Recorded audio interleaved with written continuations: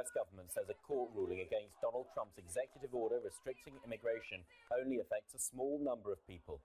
It says the restrictions are a first step towards establishing, re-establishing control over America's border. The German Chancellor Angela Merkel has condemned the restrictions. Her spokesman said she believed the fight against terrorism did not justify placing people from a certain origin or belief under general suspicion. Members of the governing French Socialist Party are voting to choose its candidate for the presidential election. The runoff vote is between former Prime Minister Manuel Valls and another ex-minister Benoit Hamon. And Roger Federer and Rafael Nadal are locked together at two sets all in the final of the Australian Open Tennis.